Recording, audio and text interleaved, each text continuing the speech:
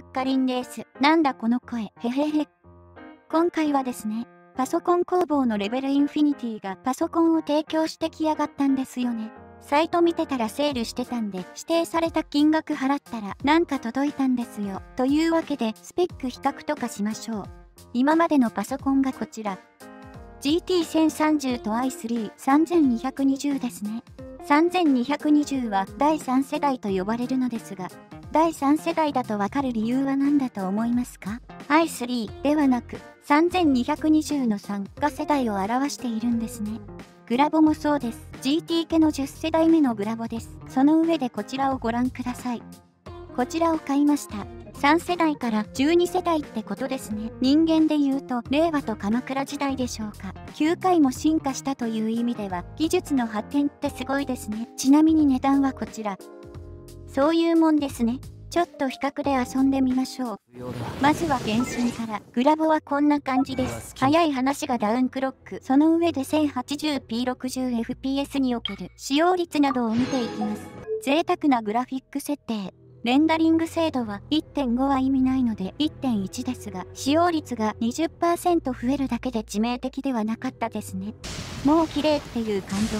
特に光の表現が素晴らしい。ブラボ側のアンビエントなんたらかんたらが効いているのでしょうか。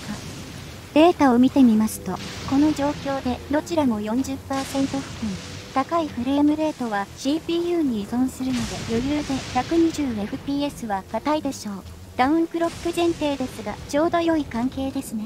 録画は CPU の Quick Sync で行っているので、実際の CPU はもう少し低負荷です。ここの草えぐいな。これで DSR 使うのも面白そうですね。とりあえず戦闘してみます。戦いで足を引っ張るようならきつい。PS4 のウェンティみたいに。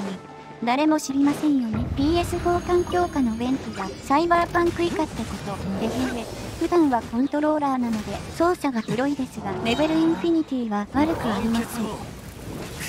ディルックの原爆一番かっこいいよね。炎の鳥もかっこいいし、セリフもかっこいいという、しかもすぐ使える。西風が一番似合うけど、弱いという扱い。でもわからんよね。今後のエンド時代では、ディルックの原爆の無敵時間でやり過ごさないといけない時が来るかもしれないし、そうなったら最例よりチャージ高い西風も候補になる。ただし、フータオの元素スキルはディルックの8倍の原爆である。ハラシンはインフレしてないって言うけど、明らかにフータオはインフレの象徴なんだよね。同じ育成して、ディルックがフータを超えれると思えません。話をデータに戻すと、思ったより使用量が低いですね。メモリクロックの影響もなさそうですし、電圧出すの忘れてたわ。何のためのダウンクロックやねん。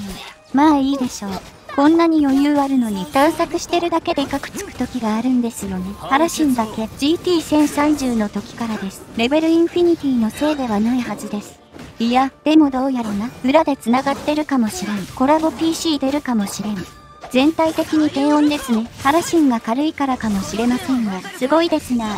GT1030 で苦しんだので、風呂の水止めてるゴミ食ってから牛丼チェーンに行ったら幸福度の上がり方はジョジョ園と同義って意見も理解できます。生物見てみますか。ここ確実に51になります。この間に読み込んでるんでしょう。いいの出なかったら切り倒します。カス、チャージインロをよこせ。次は重いことで有名というわけではないんですが、バルヘイムやってみます。このゲームにおける最高画質、軽量化 MOD なし、バルカンも使ってないです。グラボ最適化の boot config もいじってないし、フルスクリーン確定のコマンドも入れてないので、このゲームにおける最も負荷がかかる状況です。どうしてこんなに軽量化に詳しいのかというと、GT1030 の時に苦労したからですね。すごい綺麗だな。あなたが思ってる以上に綺麗だと思います。私は知ってますからね。とんでもない画質のバルヘイムを。それにしても綺麗ですね。これで 2GB なんですから、グラフィック版 ZIP ファイルですね。使用率は原価味と変わりませんが、ちょっとグラボに依存してますね。そしてわずかにフレームレートが下がる時もある。使用率とフレームレートはイコールではないんですね。GT1030 は何やっても100%でしたよ。おお、日陰の森が美しい。こういう世界に暮らしてみたいな。現実世界の水たまりに反射する世界がリアルタイムレイトレーシングみたいだったんだよね。それを跳ねる雨水の表現こそまだ違うけど、窓の反射とかたまにゾッとするんだよね。ゲームと現実は似せることができるほど基本構造が似てるというか、この世界がシミュレーションゲームにできない理由が毎年減ってるんだよね。それが怖いんだよね。ちなみに GT1030 のプレイ映像がこちら。今回は獣が相手ですが、バイオームが進むとモンスターが出るようです。ボーナスタイムですね。さて襲撃が終わり、突貫工事に入ります。どのような工事計画のエビデンスをお持ちですか？煙突を作って快適にするというエビデヤンス。死んで間もない魚介類ですね。てってって、てってってて、てってって、て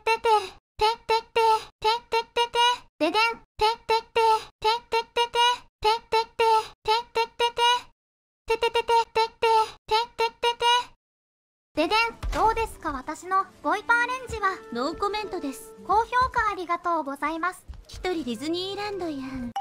手羽先の図。とんでもない画質ですよね。720p だし、同じ座標とは思えないくらい草がないし、すべての物体を垂直に照らしてるんかってくらい影はないし、ベータバージョンみたいですよね。でもバルヘイムの最低環境って GT1030 の2倍必要なんだよね。じゃあ RTX3060Ti は GT1030 の10倍なのかよって思うよね。性能を決めるパーツだけ見ると10倍はガチなんだよね。実際の成績は8倍なんだけど、ほぼ本領発揮してるっていう 3060Ti の素直さが浮き彫りになったね。電力だけは10倍じゃない、セクシーな結果だ。最後はゾンボイド。こちらも比較映像用意してます。とりあえずテクスチャー圧縮外して、重くなるようにカスタムしてます。ライディングもマックス。大量のゾンビを相手にした時の処理を調べるだけなので、適当にビルド、初手消防士で格闘家やばない確定斧でスキルにって初心者向けに最適では？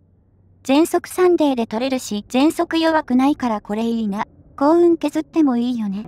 この辺の読み込み普通に遅かった。ゾンビ増やしたので地獄を味わいます。もうえぐい。この難易度でやってる人は本当にいるんですかね。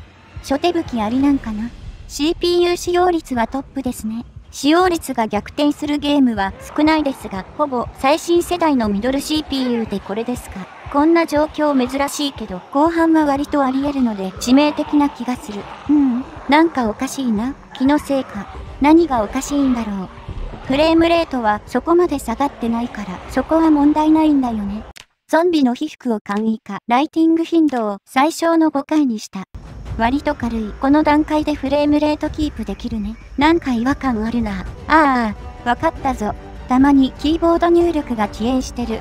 大量のゾンビを視界に入れた時に斜め移動に派生しなくなったり、斜め移動が元に戻らないぞ。ゾンビゲーでこれは致命的なのでは？一応ダウンクロックを戻してみる。メモリ不足かもしれない。フレームレート下がってないのに遅延するのがきしょい。うーん、キーボードが悪い説あるけど、このゾンビ量にするまで発生しなかったしな。絶対ゾンビ量も怪しいぞ。CPU かもしれないから、ゾンボイドに限っては Quick Sync やめた方がいいね。前のパソコンでこんなことあったかなあったら不快すぎて覚えてそうですけどもね。CPU を100%にしてみる。ターボブーストで1%以上変わる。ファンうるさくなるから好きではない。あんま変わらん。使用率が下がったくらい。だから何っていうね。そもそもゾンビ量が関係しているのか原理的にはありえそうだけど、こういう決めつけを認知バイアスって言うんだよね。キーボードかもしれないじゃないか。混沌所の一個、えなり和樹おった。でもさ、ゾンビなしで16分間走る検証をしたことあるんですよ。さらに8分走って全速分の検証したことあります。その時は受け付けないことなかったですよ。ってことはゾンビなのでは？しかし Windows 11という相違点もある。問題は根が深い。根が深いホタテ貝。いいや、ふざけてる場合です。動画です。ゾンビを見つけた。試し切りしよう。ってや強い。ゾンビやばいので逃げる。重量を軽くして動く準備だ。あまり変わらないんですけど、強いて言うなら、以前は 720p だけど、これから 1080p で録画できるくらい。ゾンボイドに画質を求めるのは間違っている。スカイボックスって何なん？おいおいターボブーストテクノロジーで消費電力2倍案件。というわけでパソコンを買い替えたんですが、できなかったことができるようになるのはとても嬉しいですね。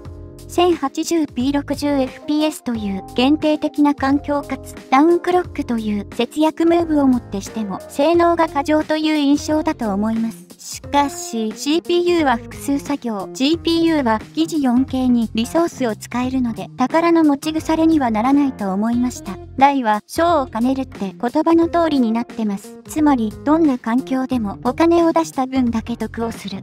レベル99で終わりじゃないですよってことですね。レベルインフィニティだけにへへへ。ところで台風あったじゃないですか。動画の日付時点でかすりましてね。風が強くて停電で設置当日からパソコンが死にかけました。台風で停電したことは数えるほどしかなかったのに、よりにもよってこのタイミングですよ。ギリギリ生きてたので大丈夫です。逆に考えると停電を耐える個体だと分かったのでよかった。んなわけねえじゃん。